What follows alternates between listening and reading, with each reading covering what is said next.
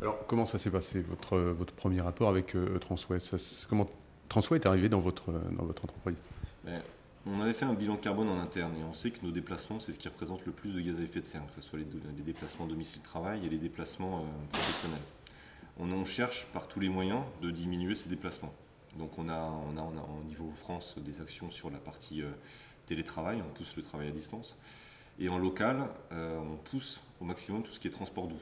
On avait déjà fait des essais de, transport doux avec, du, euh, avec Nantes Métropole notamment. Et euh, le fait de, de ça permet de dynamiser en fait cette dynam- dynamique qu'on avait déjà lancée, mais qui s'est soufflée un petit peu. La, difficulté avec le domicile, le travail, c'est que les gens gardent leurs habitudes de prendre leur voiture. Ils prennent euh, très peu le vélo. Les bus ici, sont... c'est pas forcément facile d'accès euh, pour venir sur Carquefou. Donc ils perdent leurs. Ils ont des difficultés à venir et ils ont des difficultés à changer leur mode de, fonctionnement.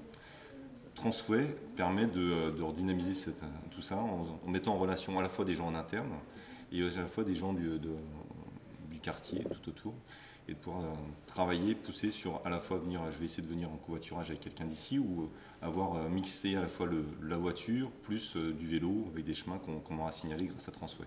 Donc la dynamique de Transway permet de, rebooster un petit peu tout ça et de mettre en relation justement, de faire un, site collaboratif qui permet souvent c'est souvent le frein en fait en covoiturage on dit je vais pas covoiturer avec des gens que je connais pas le fait de Transway c'est de se dire je vais connaître un petit peu les gens ils ont les mêmes euh, problématiques que moi je les connais un peu mieux donc je vais faire l'essai et je vais y aller. Et prendre cette habitude permet de- de- d'utiliser de plus en plus les transports doux